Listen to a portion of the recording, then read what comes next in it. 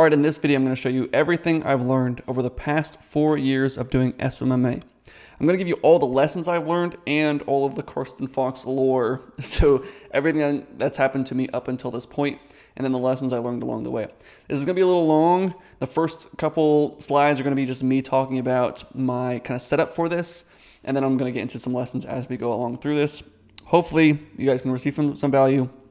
So sit back, relax, and listen. All right, uh, this is just my results. I'm going to show you just a, a, few things here. I've made, this is a little, uh, this was like last week, so I made uh, 920,000 so far, and my SMMA journey. This is plenty of appointments I get every week, blah, blah, blah, and I also have my appointment log. This is since I've been tracking the appointments, 4,536 appointments since we've been tracking it. So probably an extra one to 2,000 appointments uh, outside of that. But that's some of my real results. And then Here's some of my early life. I'm just showing you this to show you that I was not any more privileged privileged than you are. I was not nothing about me was better than your current situation. So I grew up in my parents' basement. These are some photos of me in my parents' basement. See, that's my friend John. I had my bed that was on the floor. These are some concrete walls. You can also see my concrete walls here.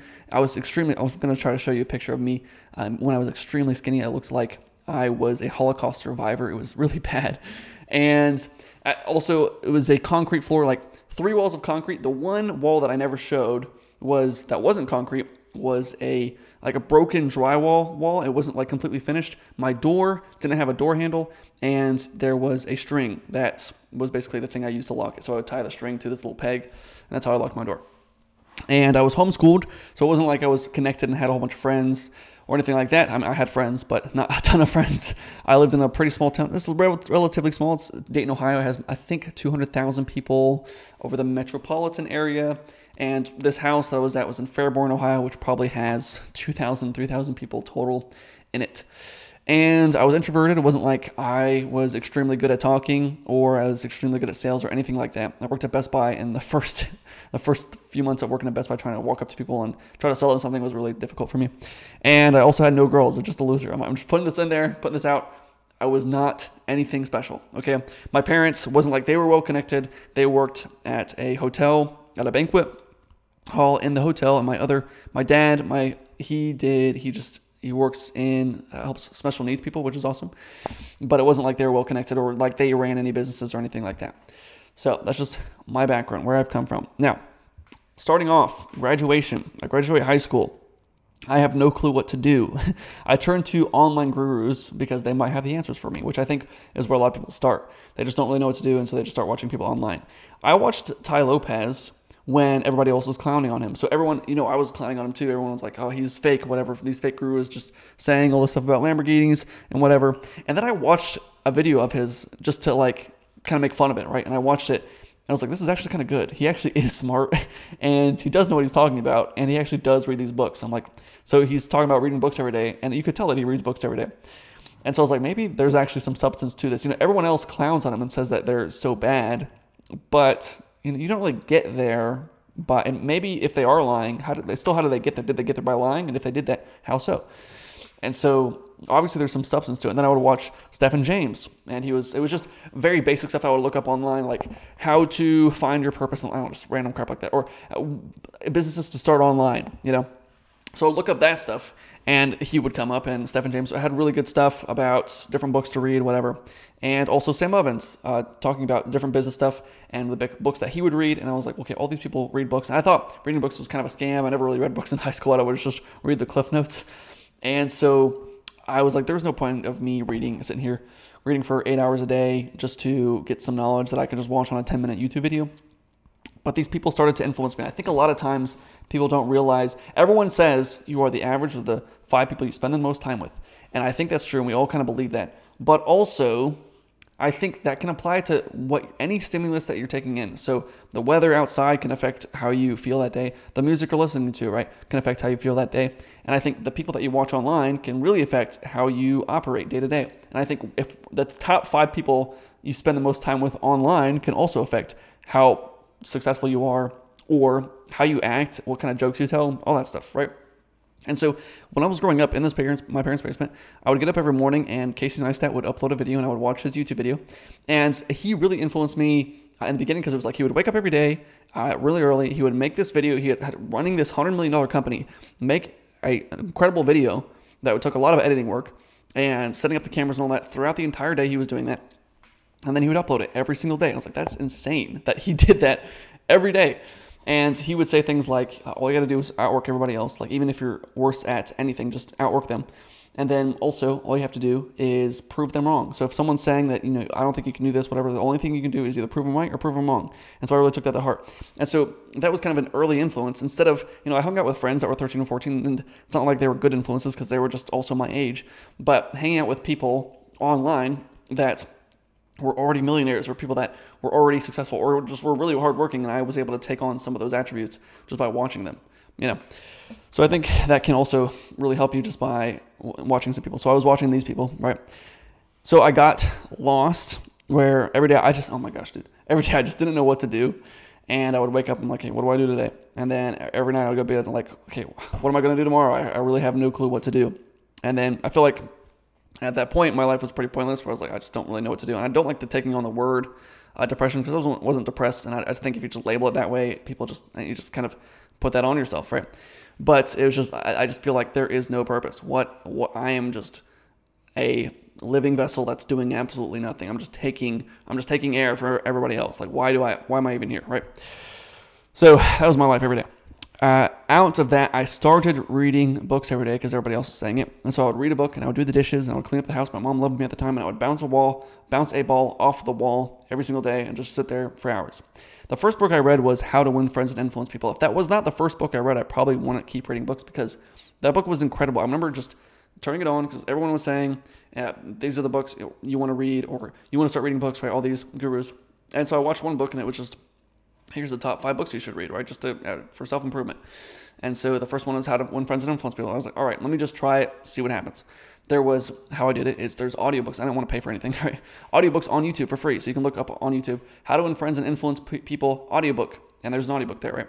So I turned it on and I started doing the dishes. And like within the first, you know, he said within the first three chapters, your life will be changed, right? I was like, that's a really bold claim. But within the first three chapters, I was like, dang, this is insane.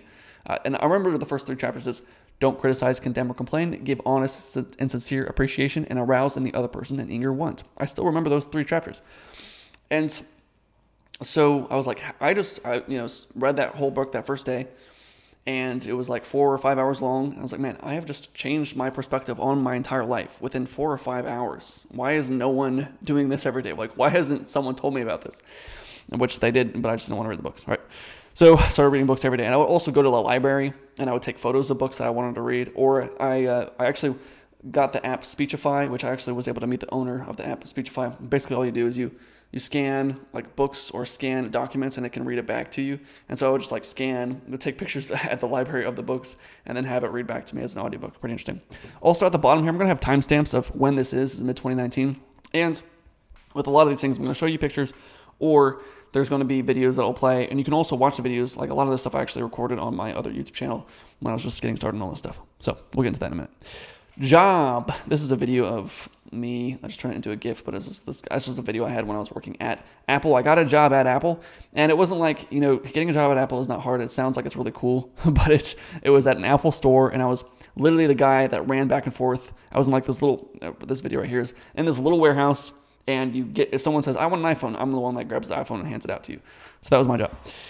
And so I started to save money to try to invest in starting a business, and I bought Sam Ovens' course. It was really good head knowledge. Like I learned a lot about just mindset and all this stuff and like what I need to understand. Like everything is your fault, and you have to kind of accept that everything is your fault. It's not your parents' fault, whatever. Just accept everything's your fault, and then you have to fix your situation. Nobody else can fix it for you. So stuff like that. But it was not good because I didn't know. It was just saying pick a niche. And I was like, well, I don't know what niche to pick. and I don't really know what path to go down. And so I didn't know what to do. They had a Facebook group. I go into the Facebook group and there was a guy named Lucas and he decided to help me out. And I just said, I posted in the Facebook group. And this one thing changed the course. I think a lot of these little actions that I took really did change the course of my life. And these little actions, they're really not that hard and they're just little actions, right? So if you just take the little actions, you will get somewhere. You just have to actually do it and not be embarrassed, right? So I posted in this Facebook group, hey, can anybody help me out? I just really don't, don't know how to get started. And someone just lent a helping hand, which was Lucas. And he just said, hey, man, I'll help you out. What do you need help with? And I was like, I don't really know what minutes to pick or how to get started or whatever. He was telling me what he was doing. He was making twenty to forty thousand dollars a month helping kids with soccer. And I was like, that's interesting. How do you even do that? I don't really know anything about soccer. And so he also was just going to give me some advice. So I was like, hey, this is what I've been doing. I've done commercial videos in the past, kind of. I did like one commercial video, and I usually just do wedding videos for my friends, and I just do videos for myself, and I show on my Instagram. And he gave me some advice on what to do. And he also said, hey, can you help me out? Can you make a intro for a video series I'm running? So I made a video intro for him with this, and he paid me $200 for it. And I thought I was on top of the world and I am him now because I had made $200 online. And I remember just him just sending me that on Venmo, and I was like, man, I'm I know exactly what to do now. Like I'm gonna be able to get so much money and so many clients, and it was like $200, right? But I felt like I was on top of the world because of this. Now I couldn't really repeat that process because I didn't really know what to do after that, right? Where I didn't like. I was like, okay, how do I do? I just keep posting on Facebook asking for help and then trying to sell something to people. You know, it wasn't really a solid system, but I felt on top of the world, right? So I didn't know what to do. So I picked up a second job doing door to door sales. And the second, okay, the first day I go in to do training, the second day I was supposed to go in to do training, they COVID hits, right? So where the lockdown, you can't go and work, whatever. And so I hit the jackpot. Not everybody hit the jackpot, but I did. And because both of these jobs were paying me. So working at Apple, they're going to pay me for like the average I was working. I was like working like 30 hours a week, not full time, but part time. And the other job, they were giving me the sign on bonus. So, like, they'll pay you for like the first six weeks an extra $750 a week on top of that commissions. Now, I wasn't obviously making any commissions because I'm not out and actually knocking on doors, but making $750 a week. So, basically, I'm making both of these jobs combined $5,000 a month, and I'm not doing any work. We have like online meetings we have to do two, three hours a week, but that's about it, right? So, I'm working these two jobs being able to make $5,000 a month and just sitting at home. So I thought this was a perfect opportunity. My goal was to make $1,500 a month so I don't have to go back to these jobs and I can move out of my parents' basement. That was the goal. So I bought another program that was $5,000 and it was a kind of a waste of my money. I would always try to understand what you're getting into obviously before you buy something but it was a brotherhood and it was just called the brotherhood i don't know what what why just because it was dudes i guess and it was basically just a program, and I, I'm not saying that it's not good. For some people, it might be good, but for the situation I was in, I was like, I want to learn how to make money online. That was my goal. And the guy on the sales call saying, Yeah, we'll help you make money online. Like, we will guarantee that. We're going to help you. And I was like, Okay, cool. So I bought the program. It was just mindset stuff like, You're one in a trillion and you are special. That's basically that's all it was. Just like hype stuff for, I don't know, men that have no purpose in life. I don't know what it is. But you're one in a trillion. I'm like, okay, yeah, I'm one in a trillion. Thank you for that. Uh, but also, these kids in Africa who are starving are also one in a trillion. And also, I'm just trying to learn how to make money online. So, could you help me with that? And it was there was no real help on how to actually start a business or anything, which I guess was my fault because I didn't really do enough research. So I was, I was like thinking of, okay, what could I do? There's start doing what you think would work best, whatever that means, right? So I had done some Instagram marketing in the past. I had done some video work in the past. What if I just did like videos for other people, maybe did social media management where I just like help them create images and videos and stuff and so they can post it post it on their social media profiles. So I did reach out to some people, but I would like do like 10 messages in one day. And then I was like, oh, this is kind of embarrassing. I think the most part was it was kind of hard to do where you're doing it manually one by one, but also it, was, it is kind of embarrassing where you're just like sending out messages to people. And I'm like, well, what if they don't like it? Or what if someone finds out that I'm sending messages? I don't know why. Those are my fears, but they were. And so I just didn't really do a ton of messages back and forth to anybody. And nobody really responded to the messages I was sending because they weren't very good to begin with. So then I would reach out to some people trying to like build rapport some people that were also in this brotherhood group and i would say hey so you, do you do social media? Like yeah we, we do social media. I'm like do you need like how are you doing that? And i would i would be kind of scared to offer any pitch or anything and so it didn't really turn into anything. But i was so desperate to get something to work. I just spent $5000 on this thing. I need to get something anything to work. So i went back to lucas and i was like well i went to lucas's instagram page. It was pretty lacking.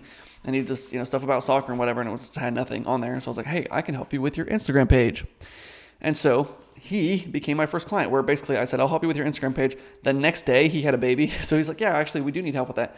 And I was like, Thank God. You know, it was like, it was just just a coincidence that I actually one, I just did the action. So you just do the action, but it was I, I just got lucky where he said yes, where he actually did need help.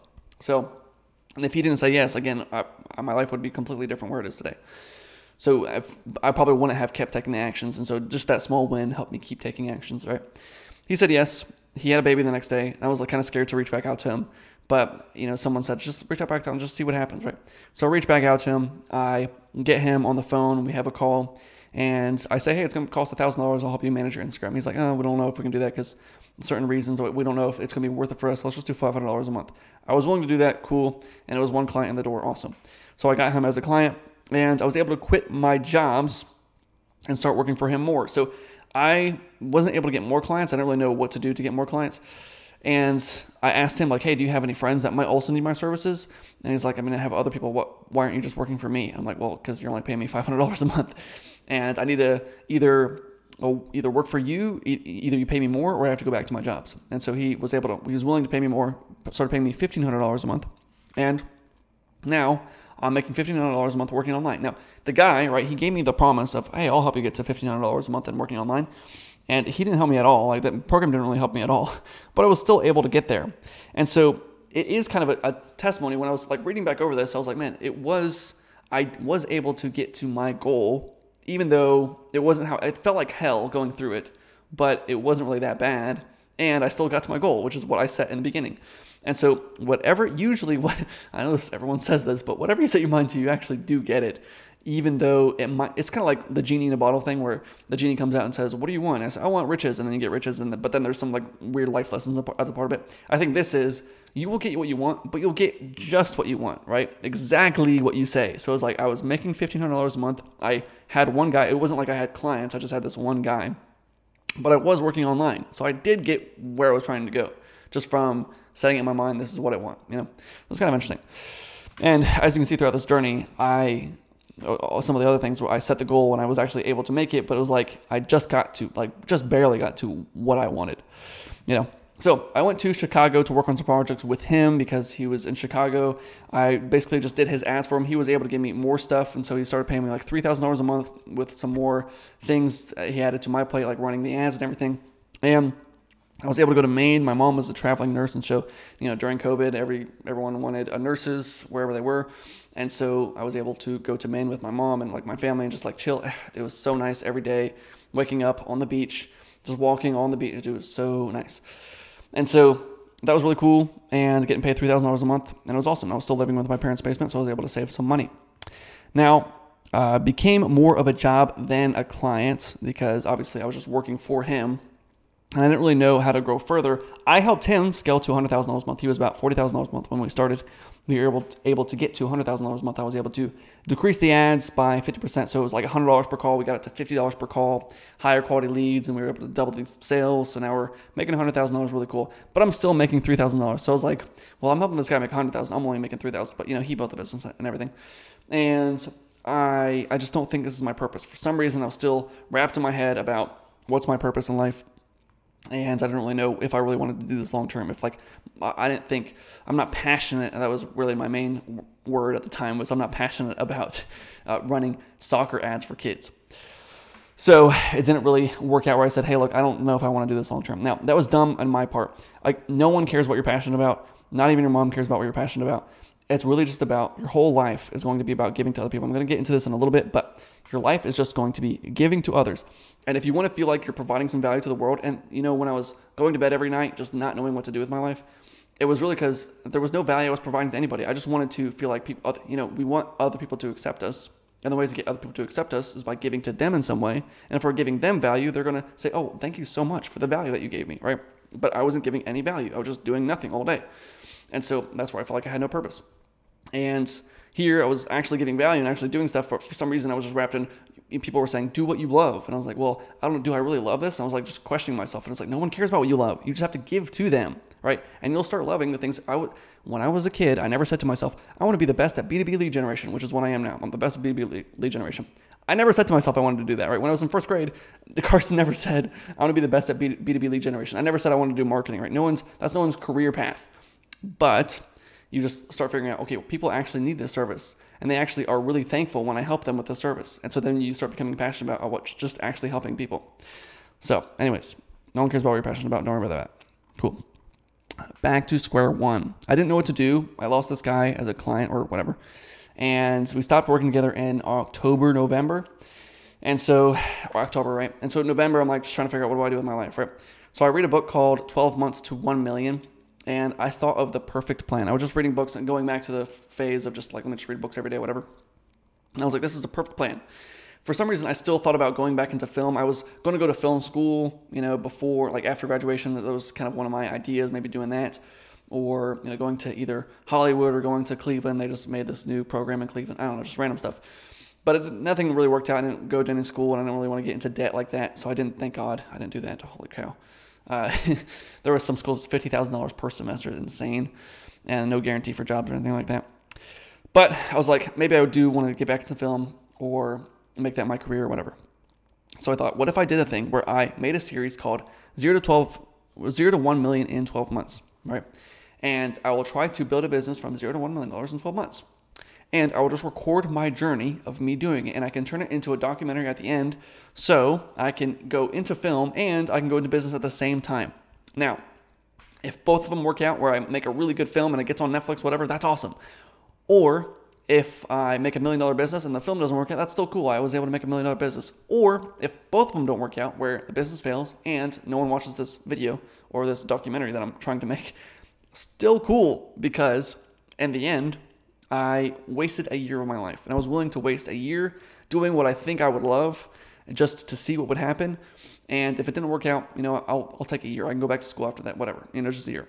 So I started making and recording a video series. At the beginning, it was like every day I would record throughout November and December of me. Okay, what what business am I going to start? How am I going to start it? What uh, who am I going to reach out to? Stuff like this. And so I started making videos every day on this, on this other YouTube channel. So you can go and look at this other YouTube channel. Just look up Karston Fox. There's two YouTube channels, or actually three of when I was like nine years old, and then one of me that was my main one for a long time where I made all these videos. And then this one was more of a business channel that I started. And this one was actually the one that kind of grew. But that one, I had all these videos on there, and you can watch my pain and suffering throughout that entire process and watch those videos. So I was like, I'm going to commit to this for a year. So making those videos kept me accountable, and I felt like I couldn't go back on my word because I already said it. And so I started actually just taking action. So if I were you, I would just commit for a year and see where it goes. If again, it's one of these little actions where I just said to myself, I'm going to take this action, I'm going to commit for a year, and we're just going to see what happens. I would not be where I am today if I didn't commit for that first year. And that first year was pretty hell, but it's like I wouldn't be where I am if I didn't go through that, right? So it was well worth it in the end for me. So just commit for a year, whatever you're trying to do. Cool. I can guarantee if you commit, like do as much as you can within a year, then you obviously get way further than you thought you would. And there'll be so, like, just within the first year, it was so crazy. Like, so many things happened. And I was like, man, even if, let's say it all failed and I had to go back to a job, that's okay. Because I was like, man, there's such a good story in the end, at least, you know? Pretty cool. All right. So I started planning out my year in December because I was going to hit the ground running January 1st. And I was just going to try to do zero to 1 million in that whole year. And this was uh, the year of 2021. So this is late 2020 that I'm doing this. Cool. All right, so when I quit my job, I have $15,000 saved in my bank account. I quit the job with the soccer guy. In December, I spent $5,000 on courses on how to get clients, how to start an agency, affiliate marketing, just random stuff. I didn't really know what to do, but just looking at different things. Sam Ovens talked about give people what they want, right? You just want to give people whatever is an urgent need for them. If we can give that to them, then they're going to pay us, right? So we just need to figure out what they want. So I called 100 businesses. Again, I made a video of me calling 100 businesses, and you can watch me do this. It was easy to find out what people are looking for, and it's also usually pretty easy to fulfill for them. You just don't really realize it at the time. So, my first idea was I was a videographer, right? And as a videographer, I did videos for weddings, and I hated so much with a burning passion, hated doing wedding videos because they're the same thing every time. oh my god, and uh, just the trauma.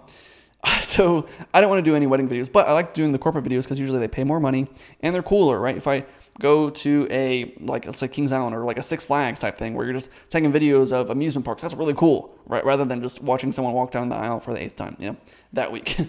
so we want to do commercial videos. And so I reached out to other videography friends because I was already in the industry. I reached out to my other videography friends. I said, hey, do you want to do more commercial videos too? Like, do you like wedding videos or commercial? And a lot of them, they liked uh, wedding or commercial videos more. They hated doing weddings. They wanted more consistent uh, video jobs, but they just didn't know how to get more consistent video jobs. And so that became my first offer is like, what if I helped videographers get more commission, commercial video jobs?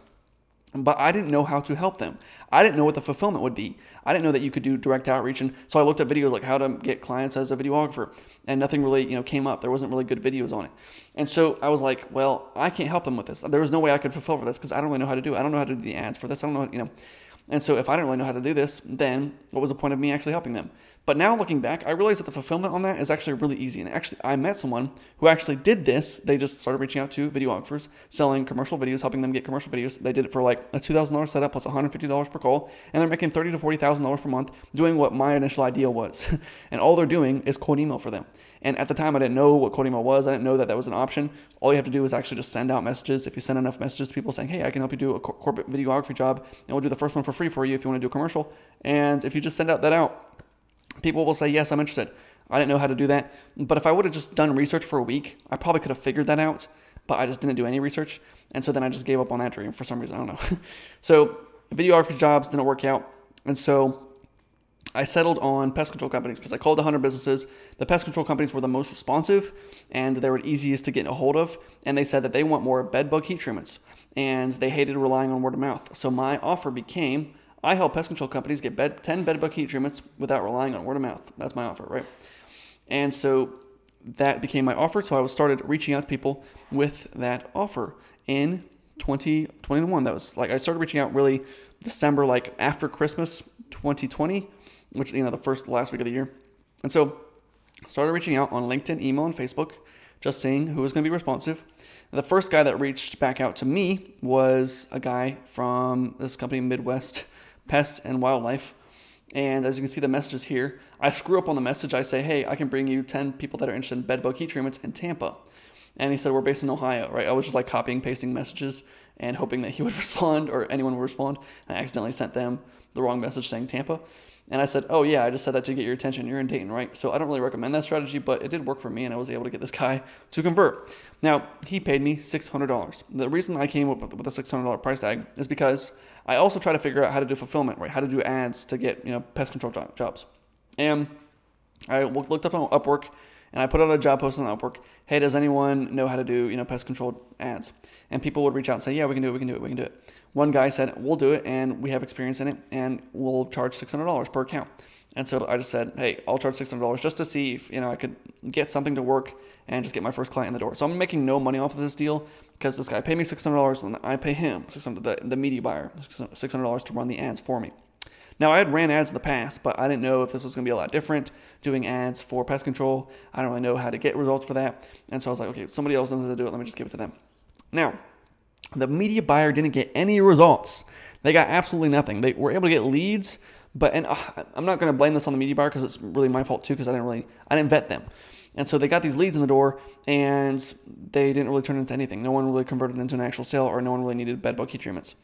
And so what I would say is never hire someone unless you can confidently see that they have results. Like you can actually prove they have screenshots of things that they've done in the past. They have numbers of exact numbers of what you can expect in terms of conversions. How much what's what's the cost per lead and then what's the cost per conversion after that lead? What's the cost per call after the cost because you know there's a lead that comes in and then they turn into calls and the call turns into a conversion or a sale. And so, you know, break down those numbers for me. If they cannot give you that, then they're probably not a good fit and they're probably lying to you about that they've done this in the past and they've done work in the past, right? So, don't ever hire anyone who doesn't have results and is actually just claiming that they have results. So on this first deal, I lost. The, I had. I gave him a guarantee. Right, was, this is going to work for you. And he's like, "Hey, this is not working for me. Can you give me my money back?" So I had to give him the six hundred dollars back. And the media buyer also said, "Hey, I'll give you the money back if it doesn't work." And then the media buyer just goes me, right? And so he doesn't even give me back the money. So now I just lost six hundred dollars. And on top of that, I told the guy, if we waste money on the ads, I'll give you back the money that we waste on the ads. So we spent two hundred fifty dollars with ads, and I had to pay him back the two hundred fifty dollars. So really, I wasted like eight hundred fifty dollars on this first deal. I just lost that money. So Another thing too is actually funny. A I remember later on down the journey, and this is not in this thing. I'm just random story. I I was trying to find cold callers for a specific purpose. And so I was looking on Upwork for people that, you know, might be good at cold calling. And I put out a job post and then people, you know, apply for the job and say, yeah, we do cold calling. And so I talked to one guy and I say, hey, you know, do you do cold calling, right? Uh, where are your cold callers located? You know, you just give him answers and whatever. And I was like, okay, can you give me any numbers? Because, you know, I went through this journey where I, I knew that I need to ask and make sure that they have any results. Because if they don't have any results, then they're probably not a good fit. So I say, hey, buddy, do you have any numbers on you know the cold callers that you've done in the past? How many calls they do per day? Uh, what the response rate is? All that stuff. And he said, no, man, I can't. I can just make up numbers right now, but we're just gonna dial the phone and we're gonna do as much as we can. I was like, okay, yeah, that's great, but any numbers across any other industries? Like, well, every industry is different, so I can't give you any numbers. But I was like, dude, just literally anything. Give me anything, any numbers, right? And he's like, dude, I can you know lie to you all day, but we're just gonna dial it. I'm like, dude, it's like, okay, so you can't give me any numbers. He hangs up. The, he's on the Zoom, right? So he hangs up the Zoom call and then he blocks me on Upwork. I didn't even know you could do that, but he blocks me on Upwork to where I, we, I can't message him back and forth. And so, you know, just vetting just a little bit, just to try to see if they have any results. Always do that before spending any money because you could get screwed. And this guy, he sounded convincing, right? He sounded very convincing. I was like, oh yeah, let's move forward. But do you have any results? And it couldn't show me anything. So always be aware of that. Cool. California. All right. My mom, like I said, she was a traveling nurse, and she now is going to California because this COVID stuff. I'm going to tell you something about the COVID stuff. All right, I'm not going to be this conspiracy theorist, and what do I know? I'm not a doctor. But uh, we go to California because the vaccine just came out, and everyone needed this vaccine, and everyone was California at the time was the worst state. So many COVID problems, right? And they were all dying apparently, right? We go to California, no one's dying. She goes into work every day to give vaccines. No one comes in for the vaccines. Nobody maybe like you know, we're expecting thousands of people to come in, maybe a couple, like a dozen people come in, right? So she starts working on the telephones, just doing like telehealth things for people just because she has nothing else to do. She's not giving any vaccines. And then she also starts working in the emergency room because no one's coming in for vaccines. And so it was like, it wasn't as much as people, as much the numbers were, oh, there's this many deaths. It was not nearly what that, what it was, especially in California. Because again, I was there. My mom was an actual nurse during that time wasn't as bad as it was. But anyways, we're in California. She's not working that hard, which is good because now we're just you know chilling in California, and she's making a lot of money doing that. And I just kind of come along along the ride for some reason. I was like, you know what? I've never been to California. Let's just go. So I was only getting about two to three sales calls per week at the time. I'm sorry for the random rants there. I was getting about two to three sales calls per week, reaching out to these pest control companies, but nothing was really working. Someone recommended, actually, the media buyer recommended that I go out to solar and roofing companies, and because I was in California and it's popular in California, solar and roofing, and I was getting still only getting two to three sales calls a week, but higher quality calls because I realized pest control companies don't have any money, right? The ones I did call, they're like, oh, I have to think about it, or I don't have any money right now, but you know, if we can get some deals rolling in, then I can maybe pay you, right? So, what I would recommend to anyone is reach out to industries that already have money. It's a lot easier to sell to someone that already has money. It is extremely hard to sell to someone that doesn't have any money, right? And do your market research and just be willing to test and don't listen to the dog crap of stick to one niche. There's so many people that are talking about you want to find one niche and stick to it. But some niches, right? You uh, like me, I went into pest control. If I was still in pest control, I would still be broke today because they are broke. They don't have any money, and now I would be broke because I'm just trying to sell to people that are also broke.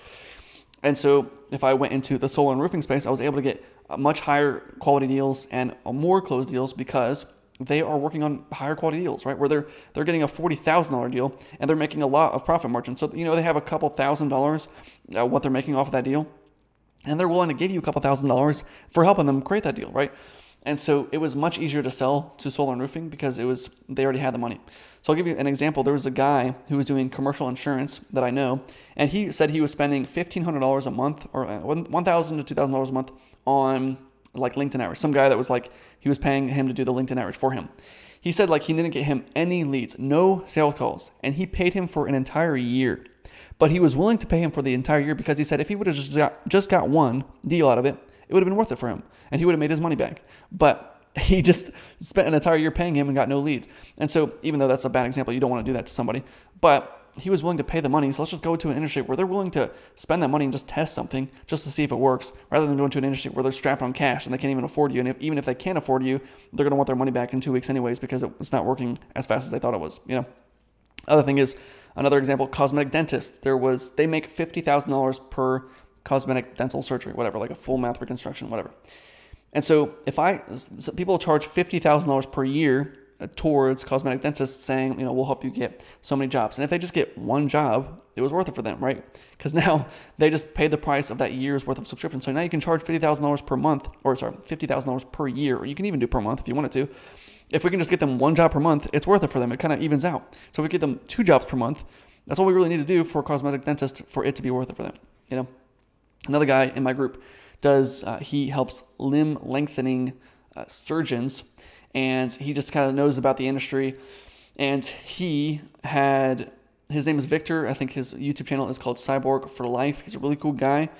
And limb lengthening is basically you just make your legs longer. So if you're a short guy, you can become taller. Or if you have sometimes your leg is shorter than the other, and it can give you a lot of back problems. And so you can get this limb lengthening surgery to make your leg a little taller so that you don't have those back problems. And those surgeries cost $100,000, right? And so, you know, I was helping him throughout this journey. And now he is working with like one or two doctors he's working like with all these doctors, but he got this new job working this with the doctor doing marketing for them as a part of my systems and what I kind of gave him. And he's making like $150,000 per year just working with this one doctor. And because it's worth it, right? Because the surgery costs $150,000. And so if he can just get one more surgery per year, you know, hiring this guy, this professional marketing guy, then it's going to be worth it for him, you know? So let's just go to the industries where they're already making money. Cool. All right. Also to note, uh, oh yeah, I already said this about the YouTube. I was making YouTube videos throughout this process, so I have videos of me going to California, me struggling throughout the entire time, and then also me what I'm about to do, which is uh, still not getting any clients. and so still not getting clients. I bought a trained VA from some guy. Some guy reached out to me and said, "Hey, we have trained VAs and we can set appointments for you." I was like, "Oh, that's really awesome. You have trained VAs. That's great." And so I hired a trained VA. When I hired this guy, and this guy was really convincing because I was on the sales call, and he's like, you know, we're going to get you trained VAs. And I was kind of running out of money. I had $15,000 saved, but I'm running out of money at this time and I don't want to keep spending money on things. And he was like, look at my calendar. He shows me his calendar and he has like booked calls every single day. And I was like, oh yeah, I guess I'm convinced. He said, these VAs are getting me these appointments. And so all I got to do is do this. And so I was, right, I'm convinced. So it was only like three or $400, which is cool. I paid for the VA and I get the guy and we have a meeting and he says, I'm like, okay, great. Are you going to do cold calling for me? He's like, what do you mean? Like, what am I doing for you? I was like, I thought you were trained on getting appointments. And he's like, did I live on a farm? he's like, my goal one day is to have my own farm. I'm like, that's great. I love your goal, but how does that help me get clients and leads and sales? And so I was like, what? In I just wasted this money on this VA. And I was like, all right, just start doing cold calling. I just watched a cold calling video. I gave him a cold calling script that I found randomly online. But what I'll tell you is usually they will be worse than you. If someone's training them, that's good. But if someone's not training them or giving them the training, then and if you're the one training them, they're only going to, going to be worse than you. So if you're bad at cold calling, they're just going to be just as bad as you are. If you're really good, they might be just a little worse than you. So from there, I actually like once I started getting good at getting appointments, I then hired another VA. And I hired from somebody that said that they were trained VA, right? They still were not trained, and I the training I gave, put them through was a lot better than the training that they got because I'm a professional at this, right? Well, I became good over time. And so they actually became good because I, I knew what I was doing, and so I was able to help them. But if you're hiring somebody, they're only going to get worse than you. And so if you're not getting any results right now yourself, you can't expect them to get better results for you. Just, just so you know. All right. I woke up. I woke up every morning not knowing what to do in California. I would just wake up and I was like, okay, what do I do today? I would just call random businesses, like asking about the business, just like not even trying to sell anything, just just weird stuff. And I just didn't really know what to do. Like, how do I get more appointments? How do I get more clients? Whatever.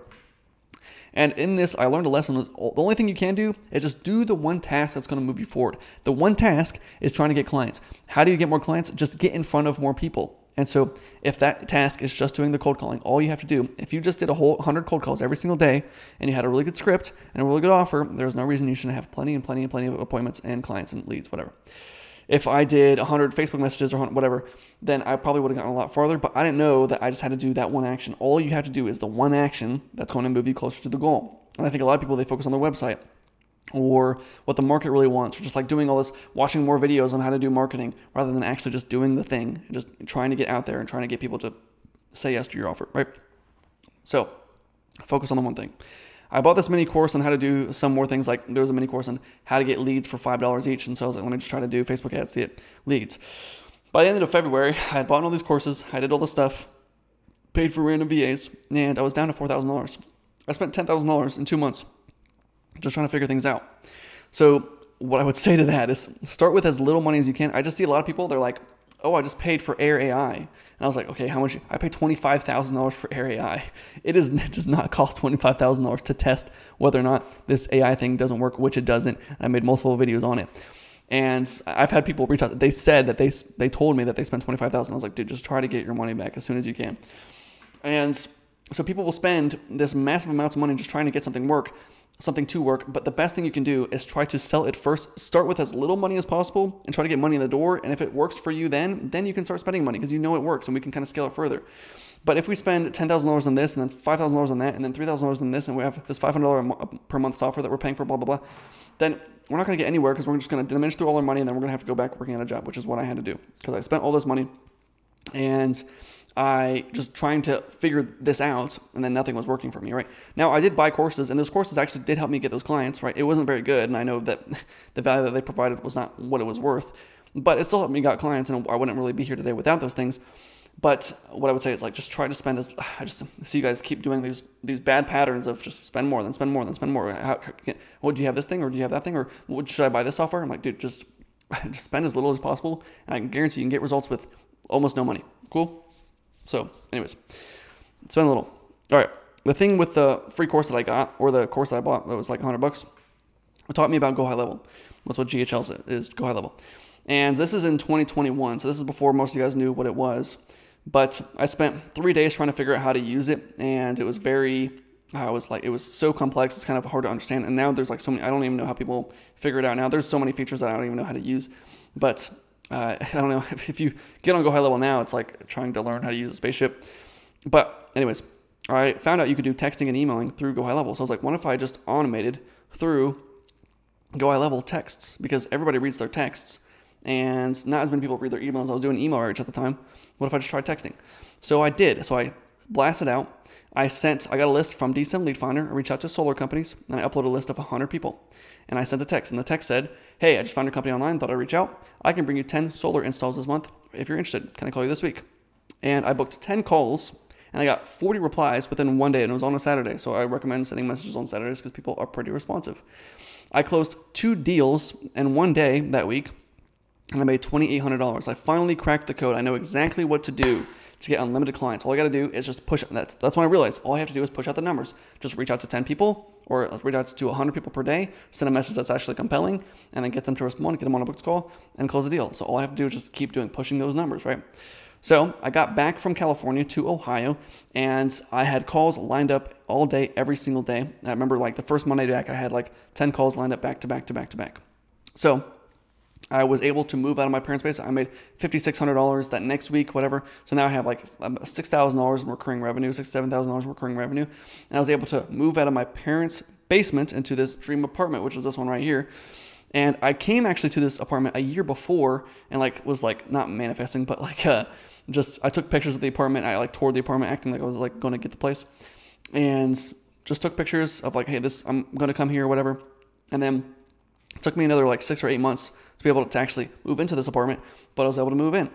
And it was like on my vision board and everything. Was kind of weird, but eh, like I said earlier, you'll, you'll get to where you want to go if you just set, set your mind to it, but only to there, right? You'll only get to exactly where you're thinking, okay? So now it was just time to scale to the moon, right? I was able to get this apartment. Now we just have to go up from here. Well, I didn't really know what I was doing. I promised all these solar companies, I you know got 10 solar companies as clients. I promised them I would get them 10, 10 solar installs per month. I took $750 worth of ad spend and then I think an extra $1,000. So it was like $2,000 per month, 750 for ad spend, the rest for me. And little did I know, it cost usually like, at least some guy told me, it costs $1,000 in ad spend just to get one closed deal. I was promising 10 closed deals and it cost $1,000 to get one closed deal. And I'm only charging $750 worth of ad spend. And so I paid for a coach to help me learn how to do the ads, but it didn't work, and then all my cl- clients left. Now I had this new fancy apartment, and I had no clients to pay for this apartment. And so I could easily get more clients. I just have to do more outreach. The problem is, if I do more outreach, get more clients, I would still not get them any good results because I, you know, I was doing the ads and that those that wasn't working at all. And so I just had to not do that, not just get rid of all the clients and just start back from square one. And I had no money to pay for the bills, so I kind of had to get a job, but I went back to not knowing what to do all day. My mom was still in California at the time. She was there for like three or four months. So she flies me back out to California, and I, I don't like, I'm going to say this in a minute, but I don't like taking any handouts, but she just wanted the family, the whole family to be there. So we all go out there and hang out. I played video games most of the time, went to the beach, but I didn't really do anything. Didn't really know what to do. I go back to Ohio and go back to doing video work. I don't know what I meant by that go through about, well, anyways, eventually I had to get a job, right? I hated the job that I got a job at TQL as a logistics company and basically was doing 300 cold calls per day. And these 300 cold calls per day were just me saying, Hey, do you have a truck in Miami, Florida that you can go to Jacksonville? No, I don't. Okay. And then you just pick up the phone and do it again. And it wasn't that the job was really that bad. It was that I knew what my potential was, and I was just making like eight thousand dollars a month, and now I'm back down making two thousand dollars a month and working longer hours, or working like eight a.m. to six p.m. And they wanted your job to be your life, like they wanted you to be on call after the job, everything like that. And so I was just barely covering expenses. I would show up late every day to work. And I was like, this is, I was just so miserable. Like, I hated my life during that time because I was like, I knew my potential and this is where I am. And I cannot get out of this situation because I still have to pay for this apartment. Right. And then one lady, she was like, it was so weird. She, this lady had been there maybe two months longer than I have. And she was kind of training me. We're on this like team together. And she was talking to someone next to her and she was like, you know, how, what does it take to become a supervisor? She's like, oh yeah, well you stay here for five to eight years and uh, you can maybe become a supervisor one day. You know, if, you know, other people leave the position, whatever. I was like, then she said, wow, maybe I can be a supervisor one day. And I was like, okay, we're all making like 35 grand. That's like the base pay, 35 grand. So you're making $35,000 per year. And your job or your goal one day is to maybe make, uh, maybe make the $45,000 as a supervisor five to eight years from now. And I was like, holy cow, like this is somebody's dream. And like, she's this middle-aged woman. Not that it's bad, but I was like, I just, I went from here now I'm back down to here, and like this is the people that are around me. This is their goal is to become a, a supervisor in seven years. So now what I didn't want to do is I didn't want to take any handouts from anyone else. So I didn't want to, I wanted to be self-sustaining. I, I think a lot of people, which is really annoying, and this is, I'm going to go on a rant right here. A lot of people will always rely on people. Every single day, I have someone reaching out to me saying, hey Karston, can you drive me here? I'm like, dude, I'm not a show. I have work I have to do every single day, and I work from 9:30 a.m. usually till about midnight, and then I go to bed, and then I wake up the next morning. I do it all over again. I have an hour and a half break for lunch, and that lunch break I do 30 minutes of eating, an hour of going to the gym, and then I go back to work every single day, Monday through Friday, right? And then also sometimes Saturday. I'm recording this on a Sunday night, and my head hurts so bad. I was been sick all week. I'm doing this for you, right? I'm working every day trying to provide as much value as I can. They come to me and say, hey, Karston, can I borrow some money? Hey, Karston, can I do this? Hey, Karston, can you take me here? dude, just try to be self sustaining, right? Most people aren't even self sustaining. And I didn't want to go back to anybody. I didn't want to like say to my dad, hey, can I borrow some money, dad? Or hey, can I borrow some money, mom? Or like, I just want to be able to fend for myself or defend myself, right? And so I would, I think that really did help me because I realized like no one's, no one's going to save you, right? You have to make this work and no one else can save you. Only you can do this. And I would not try to get into the mode of like asking for handouts, but how can I serve other people or how can I just operate myself? And also, be as giving as you can to other people. Like, remember, one of the guys that I'm going to tell a story, I'm trying not to be mean, but there's a guy that asks me for something weekly, right? Hey, can you give me a ride here, whatever. And I give him a ride. We go out to eat one place, and he says, uh, we go out to eat. I'm, i pay for his meal, right? Because I'm just a nice guy, right? I'm just paying for everybody's meal. so I pay for his meal. And then his mom says, Hey, can you get me a meal too while you're there? And he's like, I'm going to get my mom a meal, but she better pay me back. I'm like, What the? you, I, okay, this, this woman that gave you life, you would not be here without this woman. And she carried you for nine months. And on top of that, she took care of you for 20 years. And then on top of that, I'm out here giving you, I gave you a meal. I drove you here and you're not even willing to give your mother a meal, a $10 meal, buy her a meal. Like that's the level of I want to take, take, take, take, take, and I don't want to give anything, you know? So try not to be that. Always be, try to rely on yourself because even if you have to go back to a job and you hate your life, whatever, at least you're self sustaining and at least you're not a burden on somebody else, you know? That's what I didn't want it to be. So, all right, especially if you're a grown male adult. If you're a grown man, there should be no reason that you're not providing more value than you're taking. You should not be in debt, right? Which that means you're taking more value from the world than what you're giving, right? So don't do that. All right, mistakes. When I signed up for the job that I had just gotten, I made one small error. That error was I had my bank account information, one number was different. Instead of like a six, I put a seven, right? That was it. Which, what I didn't know, which is a, a huge flaw in the banking system apparently, is that that one number difference, that's somebody else's bank account, right? which means that I don't know why someone hasn't cracked this code yet, but you can just take money out of somebody else's bank account because their the routing number is publicly available on the web. You can look up any bank and say or Chase routing number. It'll tell you the routing number, and then you can just get a bank account at that bank, and you can see what the bank account number. If you change the number from an eight to a nine, or a four to a five, or a four to a three, right? That's somebody else's bank account. So we can take the routing number and the bank account information, and this is just don't do this, and this is just not advice. This is uh, this is just uh, for educational purposes only, right? And I've never done this. So if you take that information, you can take money out of that person's bank account just by having their routing number and their account number, and you know the account number because you can see your number and you just put one number lower, one number lower, one number lower. Every single number is someone else's bank account, which is really dumb. A really huge fault. So huge flaw. So with this thing, I put one number different in this bank account information. So that means all my money was going to somebody else's bank account. So it was like the opposite effect. I wasn't taking money from anybody else. Basically, all the money I was earning from this job was going to someone else's bank. And so I was like, I'm not getting paid. And I was like reaching out to the HR team, like, why am I not getting paid? And like, oh, you're getting paid. Like it's getting paid out. And then I realized that. So I just quit my job. I was like, look, I have been working here for a month. I haven't been paid a, a single dollar. I left a note. I acted like I was going for lunch, but I left a note saying, hey, I've got bills to pay and I'm going to leave. So I left, felt amazing. I was like, man, I hated that job, whatever. And so I didn't really know what to do. I was still just at home, not just doing whatever all day. And I was going through Facebook and I saw a post and it said, Does anyone need help getting appointments? And I was like, Well, you know, I was able to get 10 appointments per day. I just didn't really know how to do the fulfillment, right? I didn't know how to do the Facebook ads for the solar companies.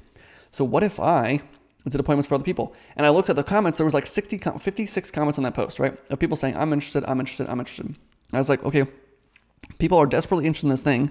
I was really good at doing that thing. I didn't know that was a thing that you could actually even sell. What if I just tried selling that thing?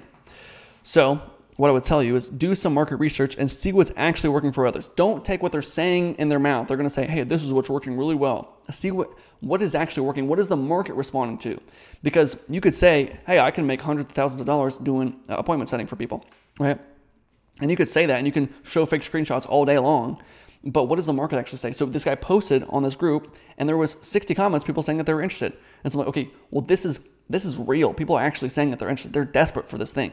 And so I know it's real because he's not even saying how much he's making. He's not even saying that he's a professional, whatever. He just literally just said, "Does anyone need help?" And then people were saying that yes, they were desperate, right? So I could see for a fact that the market was interested in this. So if I just offer the exact same thing, then people would be interested in my thing too, right?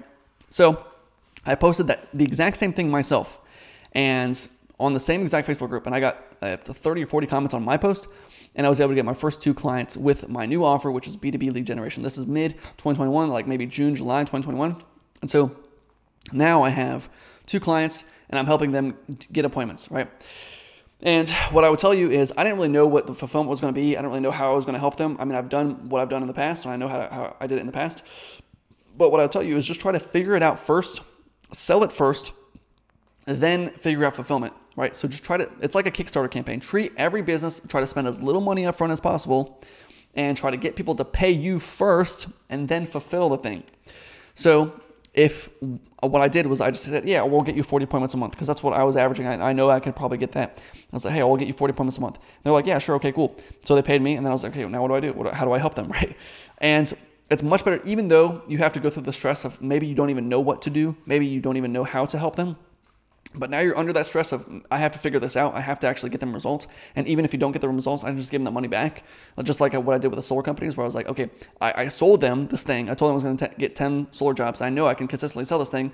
And I tried to do the fulfillment. It didn't really work. That's okay. I just gave my money back. All right, cool. Now we're just back at square one. But at least I know it was easy to sell that thing, you know? And so I sold this to them and I just tried to figure it out afterwards. Another example is these solar companies, when I was selling like the, the paid ads and everything, a lot of times people were not interested in paid ads because they tried paid ads in the past. It didn't really work for them. They don't want to get scammed again. They've been scammed before. And they were really interested in the traditional methods of marketing. So they really wanted canvassing teams. A canvassing team is a B2B, or sorry, a door to door sales team, D to D, door to door sales team. So that you're just going door to door selling solar.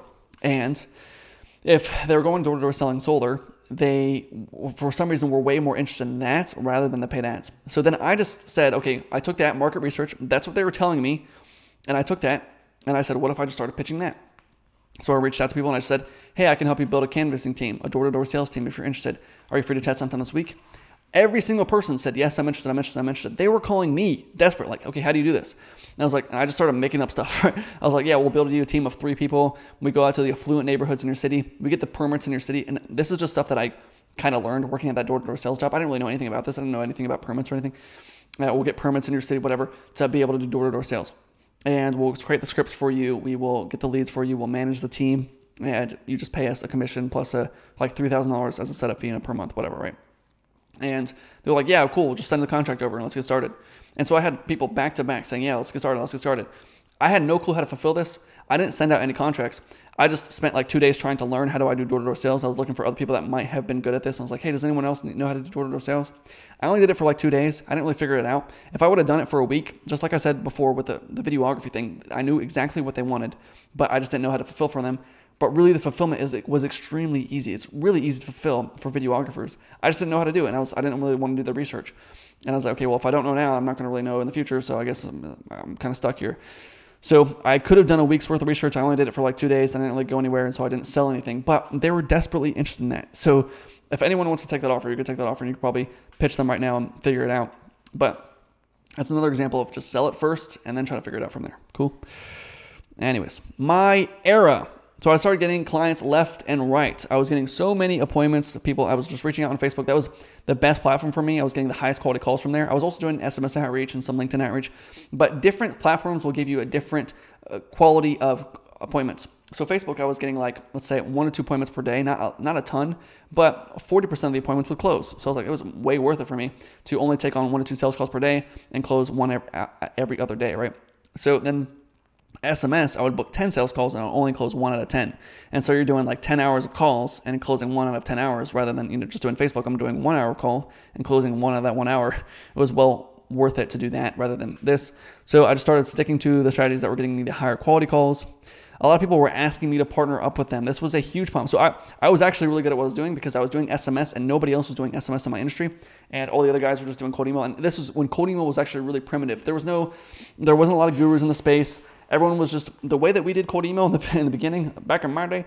There was, you know, how we have email warming now. Before, the only way you could do email warming was you just sign up for newsletters. So you sign up for all these newsletters of like, you know, just uh, stock picks, just people that send you emails every single day. So now you're getting emails coming to you, and then you just reply to some of them every day. And that's how you warm up an email. And that's the only thing you could do. And so it was really, really interesting.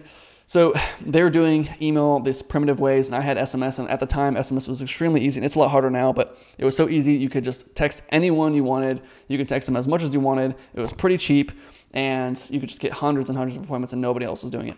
And so I had these systems that nobody else had, and I mean, people could just copy me, but nobody else had them. And so people were coming to me like, "How are you doing it? How are you doing it?" And they wanted to partner with me. Now, when everyone was saying partner with me, I would just say yes to all of them because like, oh, these are just more opportunities for me to make money.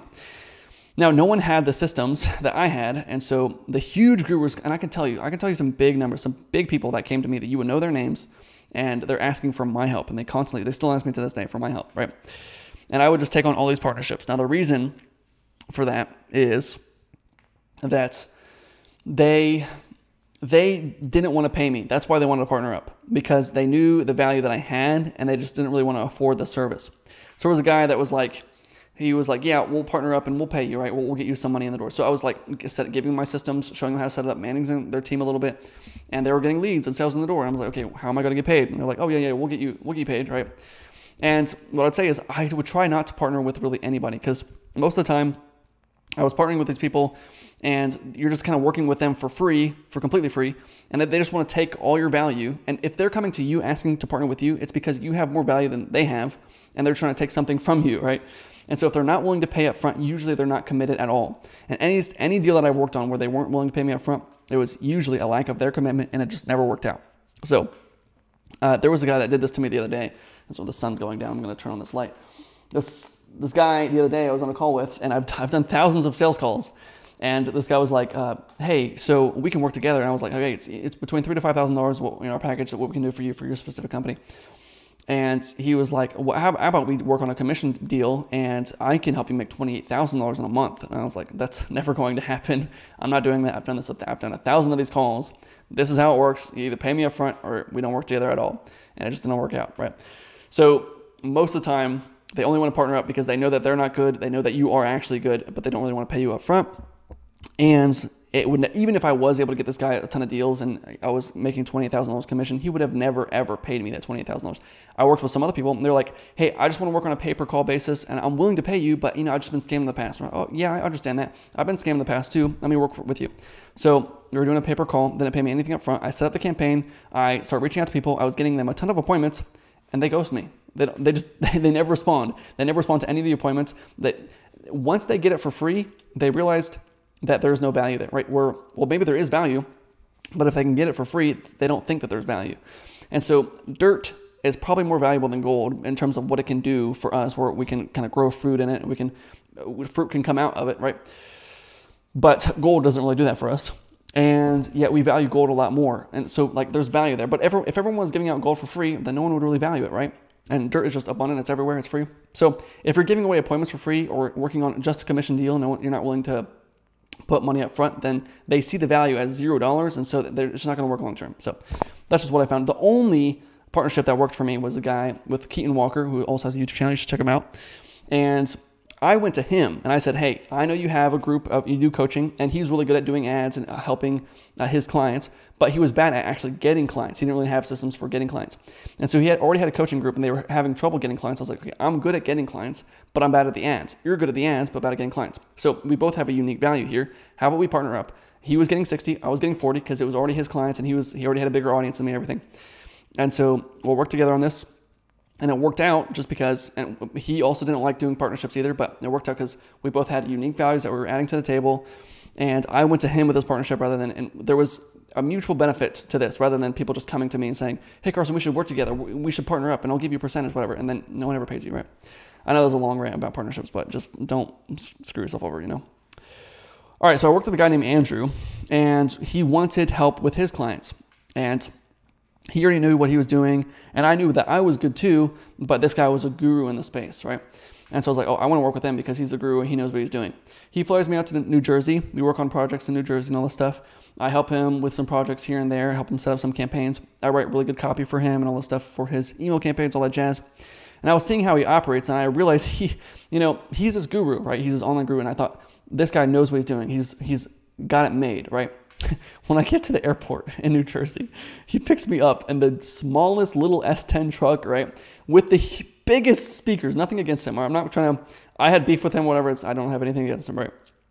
The the biggest speakers. They were on the side of the the cars where like I was like crammed into this car. There's like trash everywhere, huge speakers, and he's boom, boom, boom. And I'm like, what the, what is this? And this little dinky uh, truck with 800,000 miles, right? And that's when he picks me up, and I'm like, okay, this guy, I thought he had like um, his life figured out. He had like 27 VAs. There's no reason to have 27 VAs. So he's spending like he's spending like more money than he's making coming in. He's working on these random projects, and he was good at what he did, but he just wasn't like what what I thought he was, you know. So, anyways, I was supposed to take over his business. His goal was like to work on some real estate stuff, and I was going to take over his like cold email business. It kind of fell through, didn't work out, and I still needed to pay rent and he didn't want to pay me unless he knew that I was going to bring him more clients. And so we kind of just had to split our separate ways. Like I had to pay rent, but he wasn't willing to pay me. He wanted me to like work a commission, which I'd already tried in the past, didn't really work before for me. So we had to kind of split ways. So now I thought that if this guy didn't accept me, that this guy that was a guru, then why would anybody else accept me?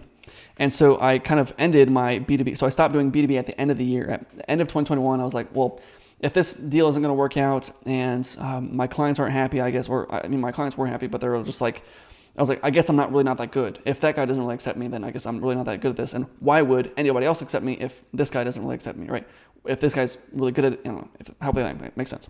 So I kind of stopped doing that because I was like, this is not going to work. So he's way better than me. I'm not that good and I don't have much value to add to the world because, you know, if he's better and he's going to get more clients, then why would anyone choose me over him? So I start going back to DoorDash, or I, I, this is actually the first time doing DoorDash. My friend was like, hey, you should do DoorDash for some reason. I he was just telling me I should. And so I started doing DoorDash. You can actually make a good amount of money. If anyone's out there, if you just need money right now, DoorDash is a pretty good option. I'm, I'm not, don't knock it, right? It's, if you want, like, because working at a job, you got to do a, a, week worth of, so I set up for an interview, that's which is a week away, and then a week after that, then you're actually going to get a call saying, "Hey, the interview was good. All right, we can move forward from here." And then after that, you have to wait another two weeks before you actually get hired onto the job. You have to wait a month before you start getting paid, and then two weeks after that, you actually start getting paid. You get your first paycheck after two weeks, right? And sometimes even three weeks. So it could be two months before you actually just get paid your first check. DoorDash, you get paid the first day. You just you sign up for an account, start DoorDashing. I was getting paid $150, $200 a day. Not bad. Uh, but still only making $2,000, maybe $2,500 a month. And I got into some debt a little bit just because I was just trying to keep my head above water. I had this expensive apartment to pay for, had a couple months where I wasn't working, just trying to figure out the stuff. And yeah, I was just, I was just trying to keep my head above water, just trying to pay rent. I found a way to like uh, pay off my card with another card, you know, with my credit cards. I was working 10 to 12 hours a day doing DoorDash. Now, that's the only way to make $200 a day on DoorDash is actually just to work 10 hours a day and do as many deliveries as you can. And any free time I had, I was just trying to figure out how to make more money online, just trying to work on with uh, just like small clients. Like maybe I can do SMS this way, or maybe I can do cold email, just trying to figure out like new strategies, whatever. And this girl was getting in my way. And I will tell this just as a piece of advice for everybody, okay? Every, I'm to kind of remove my head so you can see this. Everyone around you is constantly going to want to take from you. It can be, okay, I'm just, I'm, I'm a guy, so I'm to talk about my experience uh, working with uh, girls. But this could also be, you know, if you have a boyfriend, if you are a girl. They will be your biggest headache, okay, because they're going to want to take time and energy and money away from you. So limit your time the best you can, but also still be giving. So it's kind of a double edged sword here. So uh, I had this girlfriend at this time, and it was like I would work 10 hours a day on DoorDash, and then it's like, Karston, come and hang out with me. what, do, doing what? What are we going to do? Just sit and watch movies, right? it wasn't like I was getting anything out of this relationship, right? And so come hang out with me. All right, so I'll come. We're hanging out. Cool. What are we going to do? Uh, I'm, I'm still in debt. What are we going to do? Because you wanted to hang out because we needed to make sure this relationship works out, whatever, right?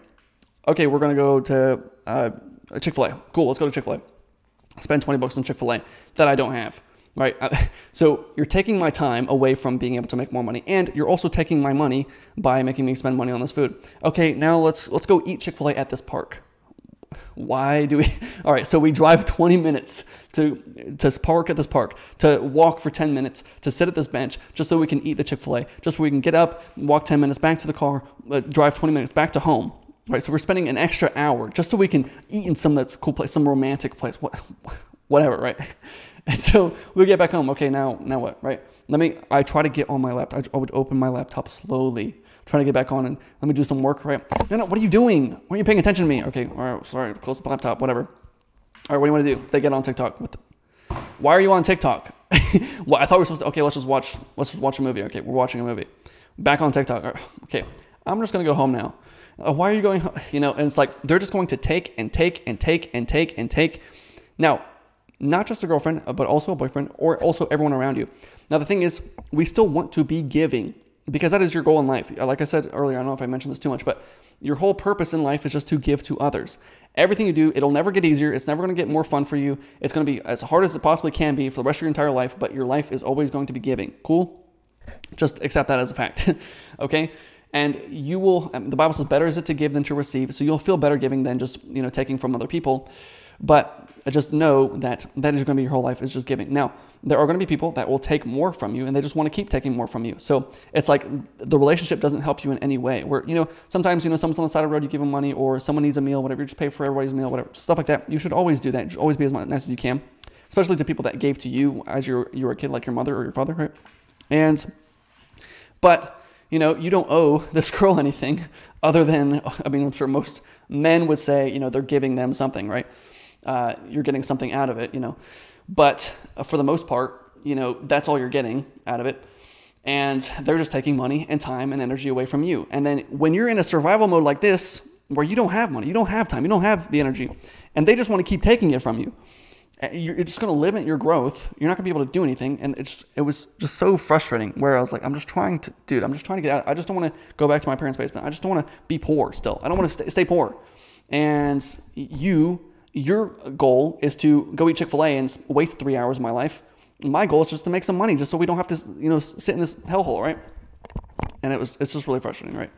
Okay, anyways, sorry for that rant. I wanted to rant about that because that will be a huge problem for a lot of you where a girl or a guy will take a lot of time or energy or friends this could all be just a group of friends with like oh hey let's hang out. And they will constantly and the time is the biggest thing because it's just a lot of little things right? Oh let's go here go here. And then you waste a whole week and you're like where did that week go? I didn't even do any i didn't even work at, the, at all this week.